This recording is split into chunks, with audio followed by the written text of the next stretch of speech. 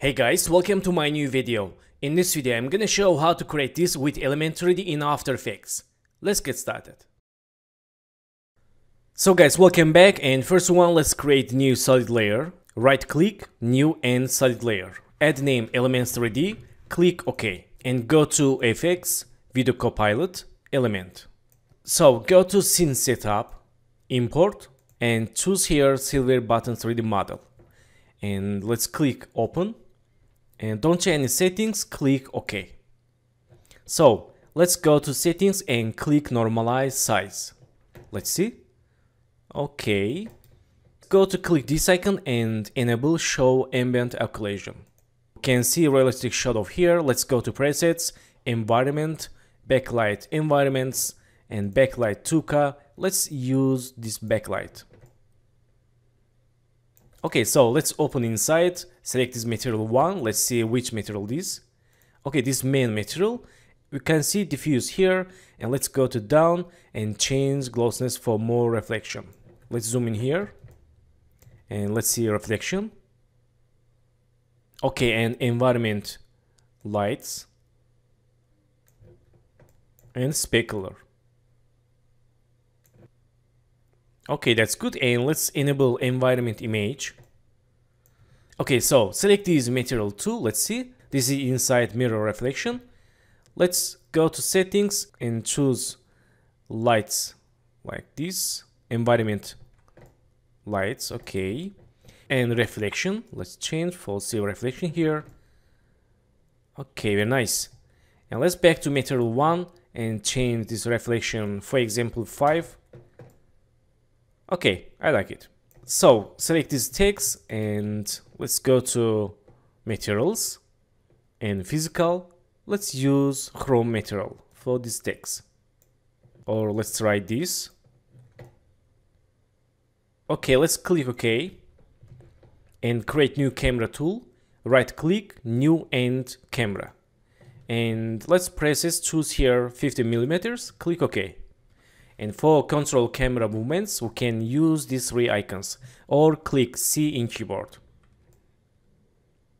Let's zoom to model. Okay, let's select this element 3D, go to render settings and ambient. Let's enable ambient shadows and change this 10 or 5. Okay, nice. And go to physical environment and enable showing background. So let's open rotate environment. We can change rotation for this environment.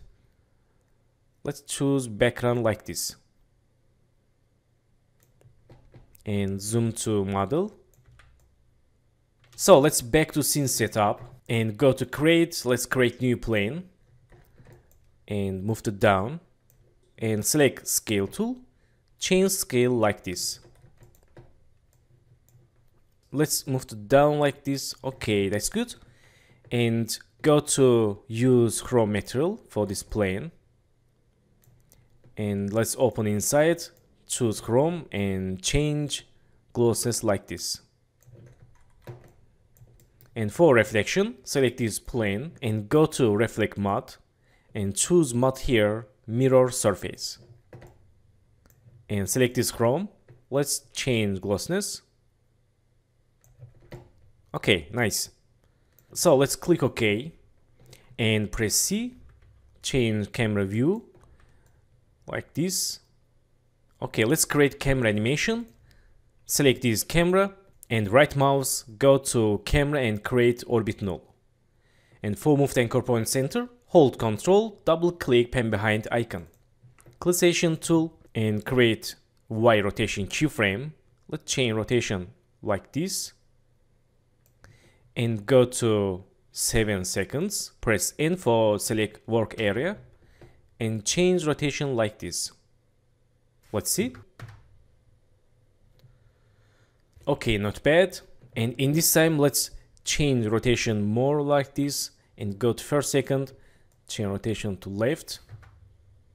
Okay, that's good and select this null. Let's hold shift press P and create new position keyframe. Go to last keyframe and let's zoom to like this. and back to first keyframe. Okay, pretty good. So we can change background images. Let's select these Elements 3D, go to scene setup and open environment, again backlights. And for example, let's choose this backlight. Or let's try this or this. Also we can use these studio lights. Okay, and let's try this. Okay, that's good. I like it. Let's click OK. And let's see. Nice. And select these Elements 3D. Let's click. Let's turn off background image and create new background solid layer. Add name background. Click OK. Move to behind of layers. Go to FS presets, search effect gradient ramp and choose gradient ramp use for background. And let's choose color black. And this color change to like this. And radial ramp. Swap colors. And choose this point move it down like this. Also this point. Okay select this camera one. Let's open inside camera options and click this for turn on depth field.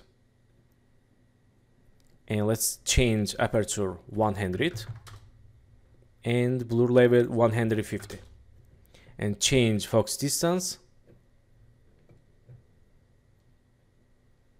Okay let's change quality full. Okay that's good. So we have full black background and reflection here. Also we can add lights. Let me show how to add light here. Let's right click let's right click new and light. And let's choose here spotlight click ok and change this to back and up. Also target let's move to down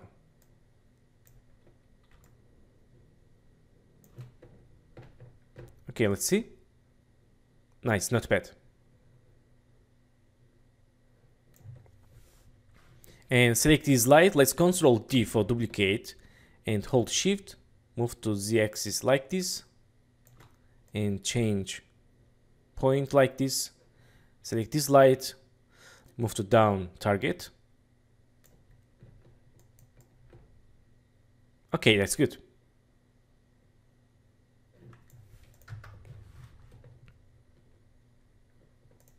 So guys, thank you for watching my video and don't forget to subscribe channel, like video, leave comments and have a good days. Good luck!